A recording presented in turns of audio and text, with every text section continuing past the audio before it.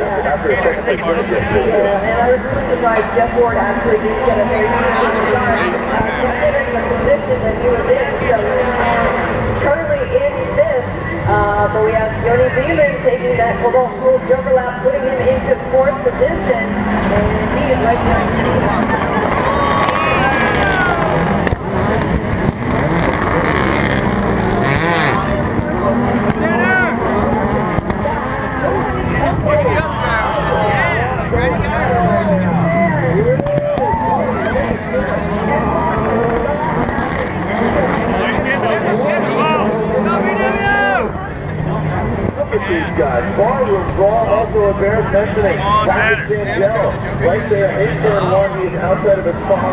The Cobalt Cool further around his vehicle retired from the race.